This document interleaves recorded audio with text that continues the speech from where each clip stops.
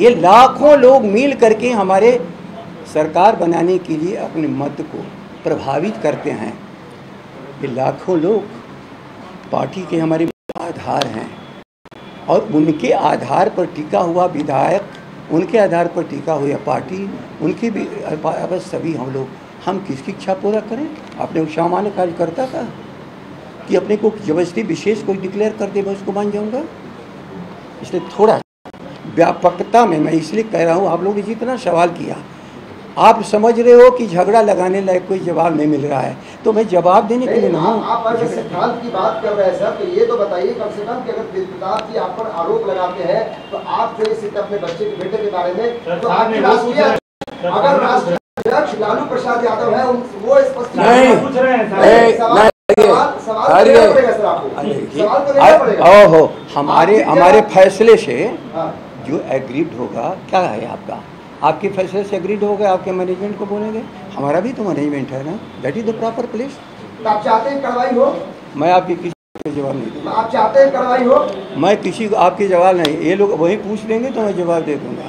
आपके किसी पूछने का जवाब नहीं है। दूँगा आप सवाल का जवाब क्यों नहीं लेंगे? सर, वो भी हमारे सम्मानित साथी जब क्यों आप सवाल का जवाब नहीं लेंगे कोई सवाल ही नहीं। कोई सवाल ही? क्यों नहीं जवाब दे रहा हूँ? इसमें हम कुछ करना नहीं चाहते। इसलिए नहीं जवाब देना चाहते कि आप न्यूज़ एटीन पे तेज प्रताप यादव फ़ोन पे बात करते हैं सारी बात तो आप नहीं चाहते हैं कि उस पर जवाब दें हम अब बोलिए आप लोग को और कुछ पूछना है? पूछने की फिर चाय पिलावे आप। आए? खतरा बता रहे हाँ। हैं मैडम। तेज प्रताप यादव अपने मैडम मैडम मैडम रहे हैं। हाई मुँह पहले हटाइए पहले। अच्छा इतनी देर से आप बैठी हैं तो आपको सवाल रहे हैं। मैं एक ही बात कह सकता हूँ आप माने या ना माने आपकी सारी सवालों जो संभावित सवाल है उसके भी मैं जवाब दे चुका हूँ। लेकिन अब जितनी संभावित जितनी भी चीज़ों का आप कहोगे इससे आगे किसी का सवाल बनता नहीं। अपने ही पार्टी से उनको खतरा है खतरा है सुरक्षा मांग रहे हैं अपने और अपने सहयोगी यानी आकाश की जान का खतरा है। नहीं यदि मेरे पास आएगा तो मैं सरकार को लिखूँगा। हम हर हर सदस्य की मान मर्यादा उसकी सभी चीज़ों की हिफाजत करना जब तक मैं अध्यक्ष हूँ, मेरे कार्य का हिस्सा है। मेरे पास सवाल आएगा। हमने तो कल ही भी कहा कि कोई कहा कि किसी ने कहा कि केस कर देंगे। मैं कह रहा, अध्यक्ष ऐसे से किसी भी पत्रकार पर केस करने की पार्टी को किसी को अनुमति नहीं देता।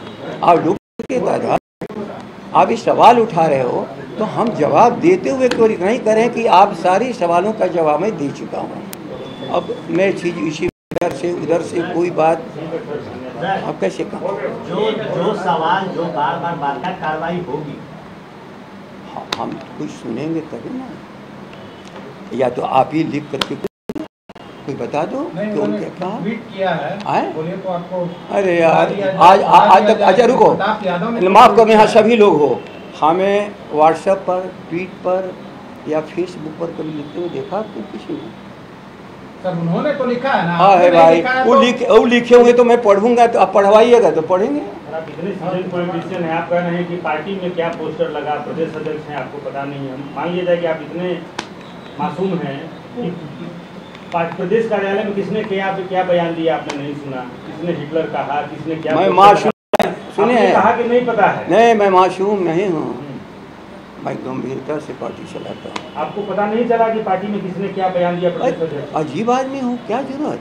हमें आप बता दो आज जिस एक्शन पर आप प्रॉब्लम और परेशान हो हमारे राष्ट्रीय जनता दल का संविधान हर पत्रकारों को हमारे सम्मेलन में मिल जाता है। पढ़ना जाते हैं? पहले एक खाली हमको लेकर कागज़ दिखा दो कि हमने उनको बनाया। है। और मैं न बनाया हूँ तो और किसको बनाने का अधिकार है? जितने हमारे संगठन बने हैं मैंने बनाया है। तो जब हम ही संगठन को बनाते हैं और हम कह रहे हैं कि नहीं हमने बनाया है हमने नहीं बनाया है तो आप कह सकते हैं देखिए कागज़ है तो आपको भी तो कागज़ करके हमको हमारी अथॉरिटी को चैलेंज करना चाहिए। मेरा मेरा एक सवाल आप पर आरोप ये लग रहा है। आए? सुन लिया जाए। हम लोग सिर्फ़ आपका जवाब ए कहाँ है? एक मिनट। अरे कहाँ है? ऑफ़िस सेक्रेटरी है? आए संविधान मांग एक मिनट, ठहरिए ना। आरोप वो लोग लगा रहे हैं, जवाब आपके आरोप का जवाब देंगे? संविधान हमने मांगा है अपनी पार्टी का। छोड़ देते हैं। लेकिन जरा हम देख तो लें, आप सवाल उठा रहे हो तो एक आपको हक है सवाल उठाने का, लेकिन सवाल को उलझाने का हक नहीं है किसी को।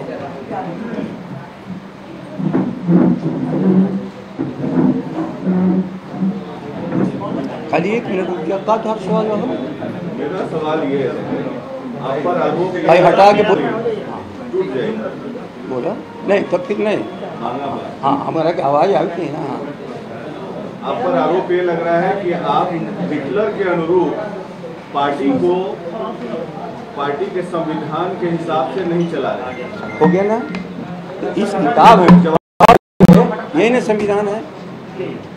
हो सकता है कि हम जाली बना लिए हों। लेकिन यदि संविधान है तो संविधान के अनुरूप हम नहीं काम कर रहे हैं। ये बताइए, संविधान की किस धारा में ये लिखा है? अब मैं आपको संविधान की धारा की बात कर रहा हूँ इसको ये धारा पच्चीस। आप सुनते जाओ।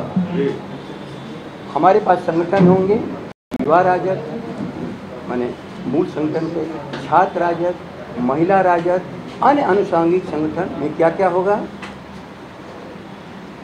किसान, मजदूर, पंचायती राज, सहकारिता, क्रीड़ा सांस्कृतिक शिक्षक, बुद्धिजीवी, अधिवक्ता आवता दस्तकार, बुनकर, अभिलेख संग्रह के साथ ही दलित, महादलित, अति पिछड़ा, संख्यक, अन्य प्रकोष्ठों का गठन किया जाएगा। ये है कहिएगा तो मैं आप लोग को सबको एक कॉपी दे दूँगा। या सुनते जाओ। राष्ट्रीय स्तर प्रदेश स्तर जिला स्तर एवं प्रखंड स्तर पर इन आनुषंगिक संकायों का गठन संगठन से संबंधित इकाई के अध्यक्ष द्वारा किया जाएगा। यदि ये हमने नहीं किया तो हम संविधान का विरोध किया। और यदि इसके अंदर मैं जब काम कर रहा हूँ तो सवाल उठाने वाला बताना चाहिए ना कि संविधान की किस धारा के इसके बाद भी मन में अभी सवाल उठ ही रहा है। मैं याद रख लीजिए पंद्रह साल कुर्सी पर बैठा शुरू का से अंतिम तक, एक कलम किसी की नहीं चली मेरे खिलाफ मैं कानून से बाहर जाता ही नहीं। नाराज़गी उस समय भी था, विधानसभा में हमसे इस्तीफा नहीं ले लिया गया। और तीन दिन के बाद वही विधानसभा का हम लोगों ने आपसे इस्तीफा मांगा, गलती है। एक एकड़ में भी बाढ़ का पानी नहीं गया था।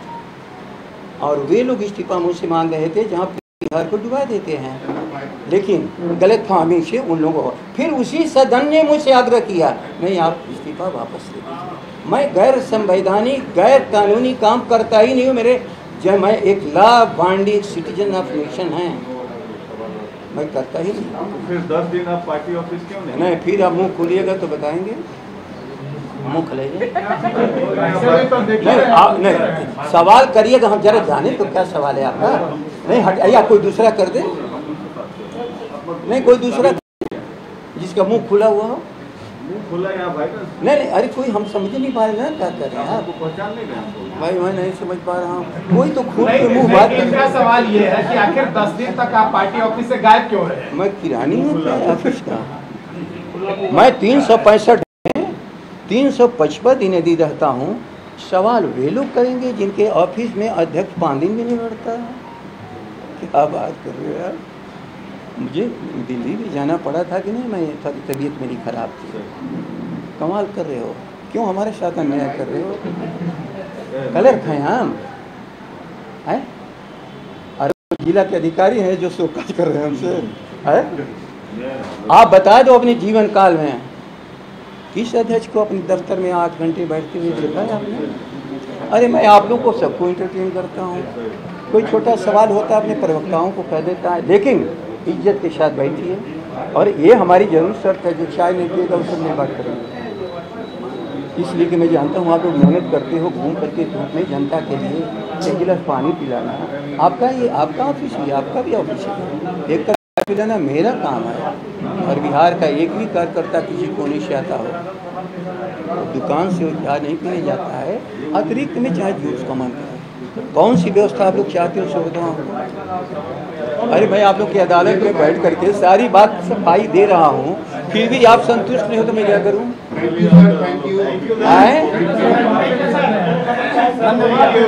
नहीं, मैं नहीं समझ पा रहा हूँ। नहीं नहीं फिर मैंने यार थोड़ा हटा के बोलो। या अपना सवाल लोग को बता दो जो मुँह खोले हुए हैं। मैंने उतनी देर मजदूरी करावल जला जितना आदमी मजदूर भी खड़ा न रहो। अब आप मालिक लोग इतना मजदूरी मत करा दो कि मैं फिर बीमार होकर अस्पताल चला जाऊँ। मजदूर तो हम लोग हैं आपके गलती बात गलती। आप पूछो जाके मेरे इलाके में आपने अभी भी कार्य कर रहा मजदूर से ऊपर मैंने समझा ही नहीं अपने को। सर आप बने तो बारह घंटा मैं सरकार की कुर्सी पर मजदूर की तरह बैठता था आखिरी सवाल आप बने रहेंगे ना प्रदेश अध्यक्ष? इसमें क्या? कोई कंफ्यूजन नहीं एक नाराज़गी नहीं है आपके मन में? अच्छा आप तो कई बार आप लोग हमसे सवाल करते हो। अब मैं एक ही बार कहता हूँ कि हम किसी को बैठा के जाएँगे जाना होता है। क्योंकि इस कुर्सी पर जन्म नहीं होता ना कोई इसकी कुर्सी पर मरण होता है। ख्याल कर लो एक दिन आएगा ना जब हम सबसे माफ़ी मांगेंगे छुट्टी मांगेंगे। लेकिन एक बार जान लो मैं भाग के कहीं नहीं जाता हूँ। मैं सबकी सहमति से कहीं नहीं जाता मतलब आप किसी से डरते नहीं आए। आपके आप बोल रहे हैं कि कहीं नहीं जाता हूँ मतलब किसी से? डर नहीं है डर फियर आपसे बिना डरे मैं तो जवाब का जवाब रहा हूँ। अरे हम जो जिनके साथ मैं अकाउंटेबल हूँ मैं सबसे डरता हूँ। एक साधारण कार्यकर्ता से डरता हूँ। इसलिए मैं इस कार्यालय को कार्यालय ही नहीं मानता हूँ। ये हमारे हमारे कार्यकर्ताओं का विश्वविद्यालय है। यदि हम नहीं डरेंगे, हम नहीं शर्माएँगे, हम तो संविधान और विधान नहीं चलेंगे तो हम कार्यकर्ताओं को क्या सिखाएँगे? आपसे क्या बात करेंगे? हम गलती करके आपके सवाल का जवाब इतना तो जान लीजिए कि कानूनी रूप से कहीं पर हो मेरा मामला बताइए।